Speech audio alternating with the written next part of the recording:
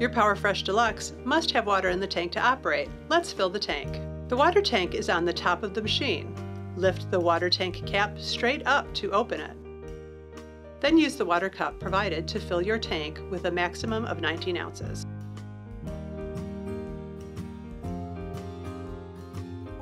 That's how easy it is to fill the water tank on your PowerFresh Deluxe.